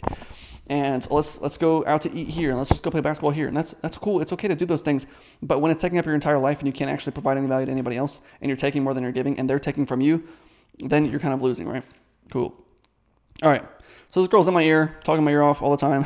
I'm working 12 hours a day doing DoorDash, and whatever I have to, well, any time that I do have to work, that's the girl's not trying to get me to do something, then I'll try to work, right? But I need something else to work. I just need something to work because I either going to stay in debt. I, I, I, worked out the math. If I still do DoorDash for the next six to eight months, I might have a couple thousand dollars saved after six after paying all my bills and everything. I might, right? So like, this is not going to work for me long term. This is not going to help me. So at the time, also, someone told me, you know, I don't think you're really giving anything, everything you have to God. And so, you know, when you're when you are trying to do everything you can and nothing's working for you, you're like, well, this obviously, you're like, God, why me? Why is this not working for me? And I was thinking, you know, your reputation is on the line, God. Like, I represent you. And, you know, if I misrepresent you, then that's my fault. And that's, that, you know, the Bible says that's sin. The, what's the sin? It's called like uh, to taking the Lord's name in vain. That's, that doesn't mean saying, oh my God, isn't the sin. The sin is saying, uh, I'm a child of God. Also, F you, screw you. Your mother is uh, whatever, right? and just saying a whole bunch of mean things about something, or going and murdering somebody, or committing something else, or like talking bad about other people. And so if you're saying, I represent God, I'm a Christian, but also all these other things, then you're misrepresenting God, right? And so you're taking on the Lord's name and taking on the Lord's name in vain. So that's what that means. And so, God, I'm representing you, but like, how how am I supposed to represent you? And then my life is just falling apart. You know, everywhere it can, it just keeps falling apart. And so you know, someone saying, I don't think you're really giving everything you have to God. So it's like, God, look, here's what I'm going to do. I'm pretty competitive for some reason. I took that uh, personally. And so I said, look, I have $1,000 in my DoorDash bank account. I owe $2,500 on a credit card. I'm going to give you this $1,000. I'm still going to owe $2,500 on this card. And I'm just going to give it to you and we're just going to see what happens. Right. And if, if nothing works and I gave this money to you, then that's your name that gets diminished or gets devalued. I, I gave everything I have to you. And so if you want, if you want your name to, if that's what the representation of your name to be, then God let that happen. But if not, God just help me out, right? So I gave everything I had. And then I was going to stop doing DoorDash. And I was like, okay, I have to stop and I just have to, I have to take massive action. I have to do a massive change. So I'm just going to try to get more clients and just stop doing DoorDash. I delete the app. And I realized the Andrew guy I worked with, he wasn't really that good at what he was doing. I was actually better than him at writing copy. I was getting better results on the campaigns I was doing. The only reason that he was a guru is because he just had a bigger ego.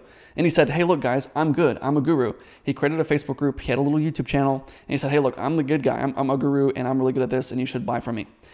So the only difference between me and him was that I was slightly better than he was, but he just professed to be better than I was. And that's how most of these people work is that there's a lot of people, I am better than a lot of these gurus out there, right? I, can give some names, but I'm not going to. There's people that make a ton more money than I do but they're not better than me at all. But the only reason you choose them is because they say that they make more money. And so I did this too. When I was getting started, there was a guy that was making like $25,000 a month, and this guy that had this program was called like the million dollar program. So I was like, okay, this guy, I don't even know if he was a millionaire, but he said it was a million dollar program. And so he probably is making a million dollars, which means he's probably better than this guy because he's only making 25 and this guy's making a million dollars. And so I made the decision to go for the guy that was making a million dollars, even though it was more money, even though he had a, a worse offer. But okay, well, this guy has uh, he's a millionaire, so this guy probably knows what he's doing more than this other guy, right? But the reality is, usually, they're only better at making themselves more known. And so, if I say, if I'm if I have a bigger ego and I try to make myself uh, a little more prideful or try to show off a little more, that's usually beneficial for you. Actually, works in your business favor. So if I say uh, one week, I say, hey, look, I make this much money, and everyone's like, oh, that's really cool. So then people buy from me. And so then I'm making more money. I say, hey, look, now I'm making this much money. And everyone buys from me. And hey, look, I make this much money. And so you just keep doing that. And then you're like, I'm the expert. So now everybody comes to you because he's, okay, this guy's making way more, way more money than this, this other guy. And so I should probably go to him because he's making way more money. The only reason he does that is because he makes his name more known. He just tries to have a bigger ego than all the other guys. And that's all really all it takes to be a wizard. I have other videos where I've explained this in the past, whatever. So I said to myself, why couldn't I just be an expert? If this guy was an expert, but he was worse than I am. Why couldn't I just start making my own videos, make my own Facebook group? So I started doing that. And I started reaching out to people on Facebook and Facebook groups, and I was getting consistent calls. And I just started making a few videos. And within the first week, I was able to get some calls coming in of me not doing DoorDash and me just trying to do this. So all it takes to become a guru is just all you do is sell the step behind you, and people will follow you and everyone's looking for a wizard. So if you were able to get some clients online, you just sell, hey, I was able to get some clients online. Does, does anyone want to know how to make your get your first client online? And people are willing to pay you for that, right? So all you gotta do is sell the step behind you, and you just have to make yourself known by just putting yourself out there. Hey, I'm the expert, I'm the wizard, come to me, and people will start coming to you. And then the more people come to you, then the more people will come to you, right? The more you're getting paid, the more you'll get paid. Kind of weird. Cool. Now, that week, I was also thinking about certainty for some reason. I had moments in my life where I was certain about something and it just happened. So, for example, I was playing basketball and I was uh, shooting hoops and I was not getting anything in the hoop, right? And I was like, why am I so bad? I was like, I maybe got three out of 50 shots in uh, from the three point line. And I was like, I'm so bad at this. I'm so bad. And then I just changed what I said to myself. And I just said, I can hit every shot in the court. I turn around, put it, put it up, and it goes in. I was like, okay, that's one out of one. And I just missed three out of 50, right? I only got three out of 50, right? I said, let me try it again. I can hit every shot in the court. Put it up, goes in again. Two out of two. Again, three out of three, four, five, six, seven. I was nine out of 10. When right before that, three out of 50. And all I did, nothing else changed. I wasn't like changing my form, whatever. I wasn't getting any closer. Still past the three point line. And all I said to myself is, I can hit every shot in the court. And I was able to get way more shots in just by saying that one thing. It's pretty interesting. So I was like certain that I could do this. And then another thing was, I remember walking into a place and I was like, I'm going to see someone I know here. I just don't don't know why, but I feel like I'm going to see someone I know here. And guess what? I saw someone I knew there, which is really interesting. So you have like these synchronicities, these things that happen, and it's just a matter of a certainty, right? And I think, and people call it faith, and I believe that. You know, in the Bible we call it faith. Where if I have faith in something, if you have faith of a mustard seed, it'll grow and you'll be able to move mountains, right? But what I see it as like just certainty in almost any area of life. Because there's people that are bad people that uh, that are let's just say an atheist and they don't believe in anything. Which is if you do that, that's that's on you, whatever.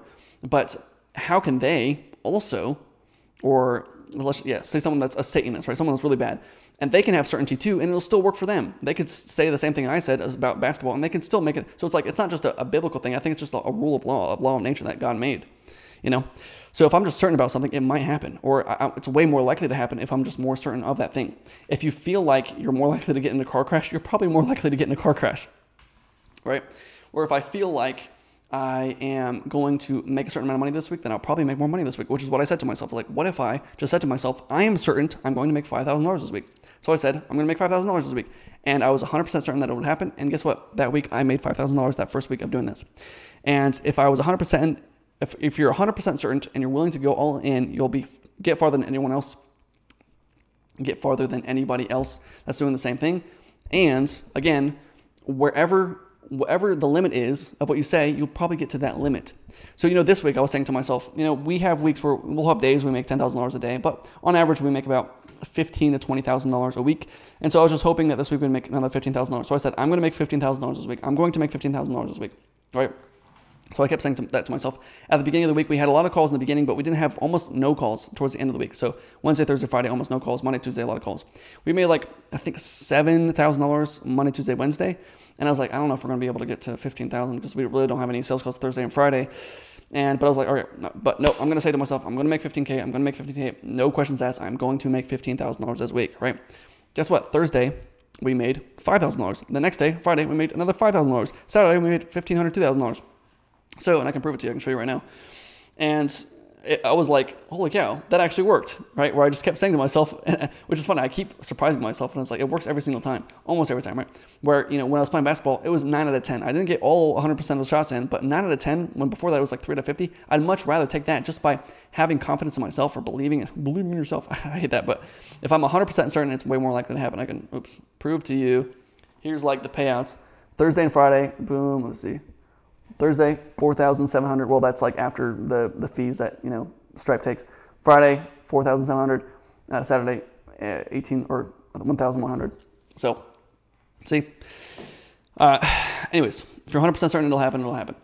And even if you're not 100%, if you just act like you're 100% certain, it will happen. So, for example, I had a guy I was on a call with, and he was targeting landscaping companies. And I was like, I've never worked with landscaping companies, but I was pretty certain that I was able to get him a good results because I know that it was really easy to find their phone numbers. It's really easy to reach out to them. And if we have a good offer, we're gonna get a ton of clients. And so I was just 100% certain on the call. I was like, hey, look, man, this is going to work. We're going to get you a ton of calls. This is such an easy campaign. I can guarantee you that this will work, right? So he was like, okay, I guess if you're certain, then I'll, I'll move, move forward with you because you sound like you know what you're talking about. Because the most thing is people don't want to move forward if they are hesitant themselves. So if you're hesitant, then they're going to be hesitant too. So if you don't have any results, you don't have any proof, and you, you don't have any guarantee, and you're like, I don't know if oh, this is actually going to work for you, then they're not going to move forward with you because they have some other guy who is more certain, who has better case studies, and actually believe that they're actually going to be able to help them. So if I come and I say, hey, look, I'm 100% certain I'm the best at this, and only I can get you the best results, and so come follow me, right? So Told this guy I was going to be able to help them, and he moved forward. I the campaign actually didn't do as well as I thought it was going to do. Like I've done campaigns where like it, it, did a lot better than I thought, but this campaign did not do perform as well as I thought it was going to. Do. But he still moved forward with me because I was just 100% certain that it was going to work. And I was like, look, I'm I'm going to close this guy. This guy's super. We are going to be able to get a ton of results, and I actually believed it. Uh, didn't do as well as I thought again, but just having that certainty was able to help me. So it just kept getting better from here the clients I had before, they would come and they would stay for like three months and they would leave. That's why I kind of stopped in December at the end of 2021 because I was like, you know, if the clients keep coming, then they leave, whatever. But a lot of times when people are on retainer, they're always going to leave after three months. It's just kind of a rule of nature where anyone that has a retainer client, it usually just doesn't work out long term unless you have a really, really, really good deliverability. But what I loved is I loved AppSumo, and you could buy on if you don't know AppSumo, you just buy one-time deals. So you buy a deal for one time of like 100 bucks, and you get to keep that software forever. And I hated paying any monthly subscription. And so I was like, what if I just sold this as a one time deal? What if I just sold a system where I help you create a system to get unlimited appointments and you'll have to pay me one time and then you'll be able to keep it forever. And if you want your money back, you'll get your money back and you get to keep it even if you get your money back. So I was able to close $8,900 the first week of doing this. And I usually say I was I made eight to nine hundred dollars in two weeks. How it actually happened, I made eighty nine hundred dollars within the first week, and then the next week I was just fulfilling on the clients. So I probably could have closed more, but I just you know was spending time fulfilling on the clients. And so, what I'll tell you, this is a, really good piece of advice. Everything I've done up until this point, the only reason I am here today is because I stole from everybody else. That's it. So steal ideas. I stole from AppSumo. They had the one-time deals. I loved it, and I was like, why don't I just apply this to my company? There was the the guy that posted and said, hey, does anyone need help getting appointments? I didn't even know that was an offer. I would not be here today if I just didn't see that post. And I was like, let me just copy him. I copied him. I stole it from him. Right? I don't know where he is today. He's probably not even doing this anymore. I stole it, and I was able to get here. Just you know. So you can steal from other people. The guy that made Papa John's, he I was watching a podcast and he said he just worked at like 10 different pizza places and just took the best advice from each pizza place. Like one place they gave him garlic butter and he's like, "Oh, that's really good." The other place they had like a sweet a sauce within the pizza. And so, okay, that's really good. They went to Domino's. Domino's just had really good systems. Like they were able to get it out really fast. They took the systems and they were able to create a really good pizza joint that blew up super fast just because they were taking ideas from, they stole from everybody else and applied it into one good product. So in April, I closed $6,000 in deals. Okay, so I made $8,900 in March. April, I closed another $6,000 worth of deals. And Lucas, the guy I worked for before, who did soccer, he said, Hey, can you come down to Florida for two weeks and can you record a video for me? I'm willing to pay you $10,000. Of course, I would love to come to Florida for two weeks and uh, be on vacation and make a couple videos for you for $10,000. Why not? So I made $16,000 in April. Now, while I was in Florida, the girl that I was with, she just, I'm not going to say, never mind, I'm not going to say anything bad about her, but uh, we, we break up, right? we go our separate ways. And so thank God, because now I can work more, right? I don't have to worry about this burden on my back. And uh, I'm not just not her. Any friends can be a burden. Any family members can be a burden. They can just keep taking from you. It's anyways. Uh, so I was able to consistently grow after this breakup just because I now I have more time to actually work on this stuff. I don't have to go and eat Chick-fil-A in a park every day. So growth. Now I keep selling clients uh, by doing more cold outreach, uh, but I stay focused more on the content. Uh, well, I started focusing more on content on YouTube. After three months of doing YouTube content, I was getting about 40 to 60 calls per month from YouTube. I was making about two videos per week and I was making about $25,000 per month at this point. And I was getting good and people were started copying me. So that, and, yeah, this is the advice I gave you to copy me, and I do recommend that. But it was kind of getting annoying where, you know, I would create a message and the message would work extremely well. And then people would say, I already heard this. I was like, dude, come on. and so people would just like see my messages and they would just copy my message and they would just send it out to everybody. And so then when I actually reached out to them, they're like, oh, I already heard this in the past. I was like, dang it, dude. So people just kept stealing my stuff. It was kind of annoying. So I started uh, looking at other marketers, like old school marketers, 80s and 90s, and just trying to see what did they do and how can I apply those things to today. Because something I learned is just steal from other people in the past and then apply it today, and I'll get better results. And so they would they had a really good piece of advice, which is think of what you could do if you had to if you could scam anybody and no the government couldn't catch you. What would you do? How would you scam them? If you could, if you had to get everyone to respond to your message, what would you say? If the government chopped off your head, if not every single person responded to the message, what would you say? And so putting it in that framework makes it really easy to kind of come up with a really, really good message. And so what I would do if I were you is try to sound so good that it sounds like a scam and you'll get way more clients and no one will even challenge you on your offers. So for example, my offers before, my messages, I've got a system to get you 40 appointments per month if you're interested. A good message that I had also was I've got a one click appointment system if you're interested. I thought it was clever, right? One click or something that's making it something that's hard, which is appointments, making it sound easy with one click. But, you know, still, I was getting appointments, but people were like, oh, I already heard this. You know, people were just stealing my messages. So then it became, I'll get you 120 appointments this month, and if it doesn't work, I'll literally pay you $3,000. Right? It sounds like the biggest scam where you're going to give me 120 appointments, and if it doesn't work, you're going to pay me money. How does that even work? And so people are like, people just say, how does it work? Right? I will get you more results faster, and I will remove all the risk. And what this is is that oh, a lose-win guarantee. So even if you lose, even if you don't get the 120 appointments, you still win because you'll get $3,000. And so nobody is going to one, I have more results. I have like testimonies and everything already now. So the people that are taking my messages, they don't have testimonials unless they're lying about it. And then two, now I have this really good message and no one's going to challenge me. No one's going to try to steal this message because no one wants to offer that, right? And there's ways of offering this, and I've mentioned this in other videos of offering it with, I've never had to pay anyone $3,000 actually. It's just, uh, there's a way of kind of positioning your message. You're not, not going to scam anybody, right? You're obviously not scamming, but how do we make it to where it sounds so good that they think it's a scam, so much so that they actually do respond? So anyways, all right. Now, YouTube. I wanted to go all in on YouTube because uh, I was growing a lot on there. So I decided to pay for a consulting call with a guy who works with Mr. Beast. He works with all the major YouTubers, right? And he gave me some really good advice. The best piece of advice he gave me was just like, hey, obviously you want to make the best videos that you can, but also just talk to yourself in 2020, right? Talk to yourself. You know, you're basically making videos for yourself two or three years ago. So just make videos for yourself too. Like just actually speak to yourself.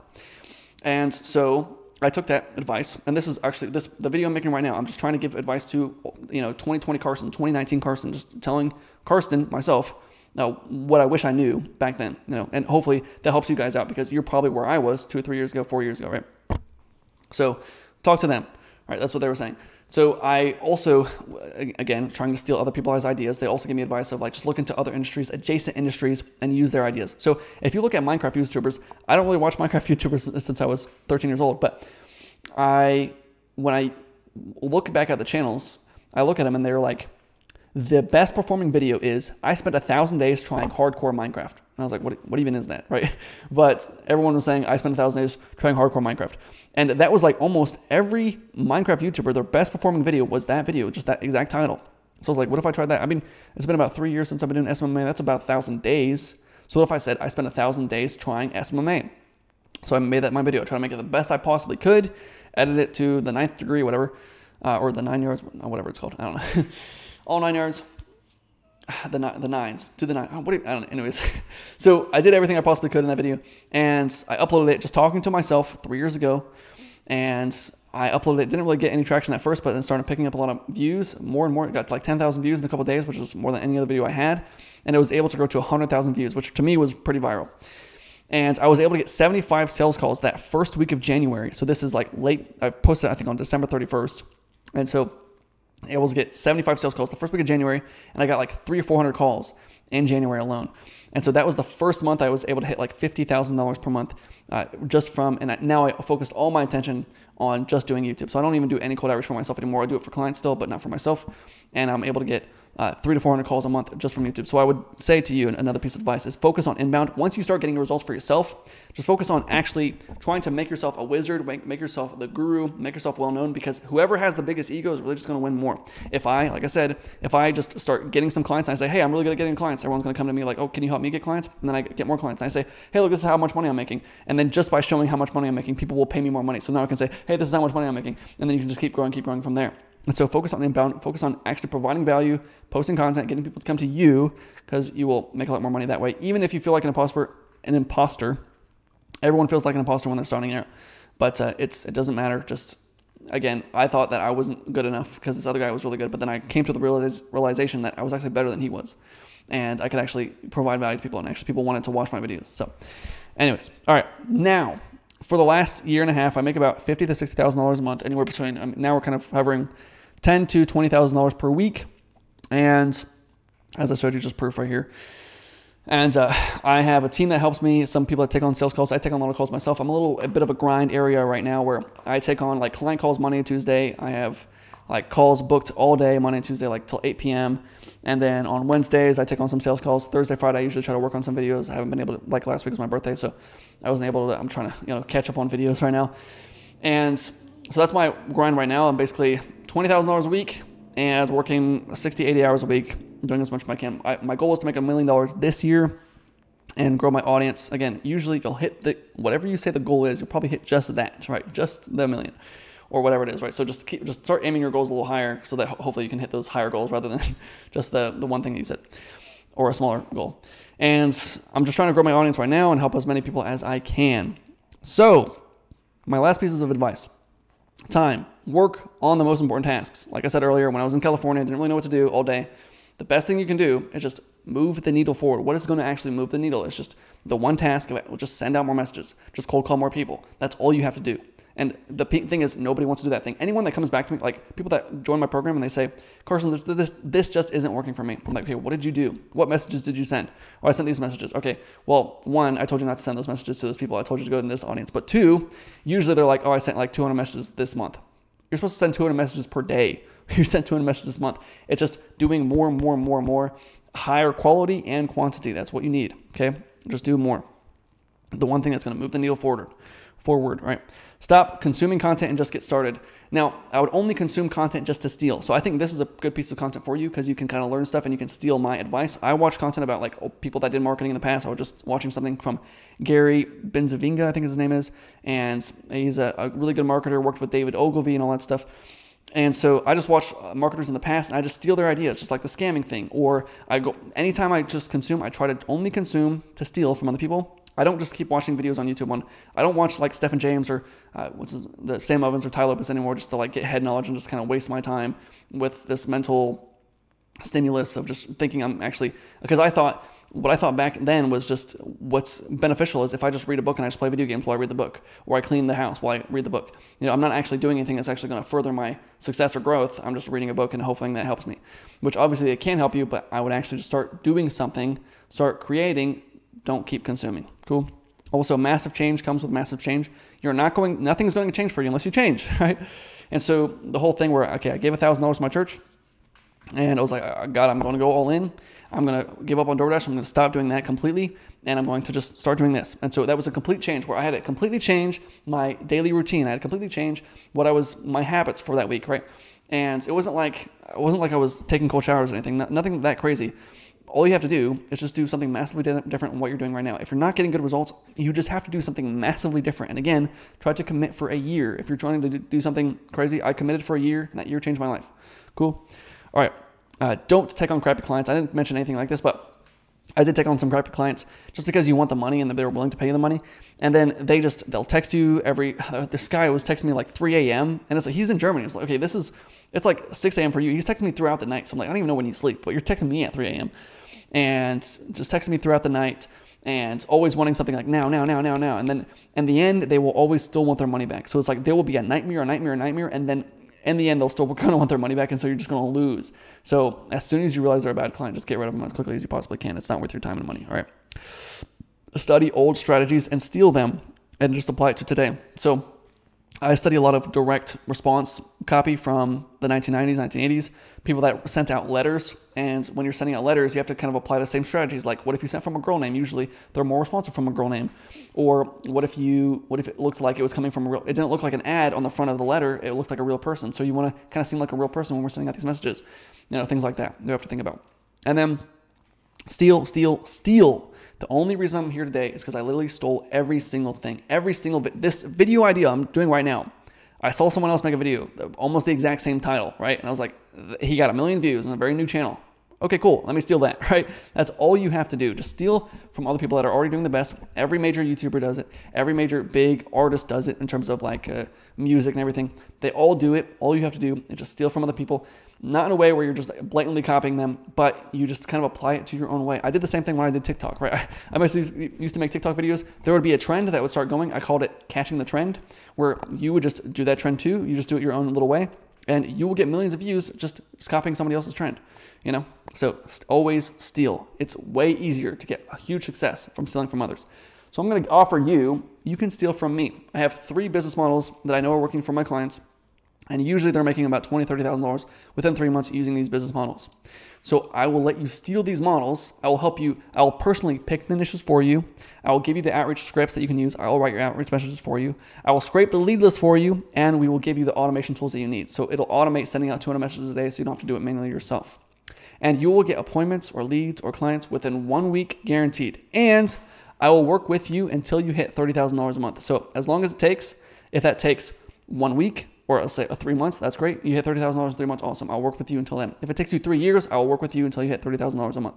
So if it takes three years of me getting you lead lists, me helping you create scripts, whatever you need, you'll have access to me until you hit $30,000 a month. I'm only doing this for five people this week. I can show you my calendar right now, but I'm pretty packed out almost already.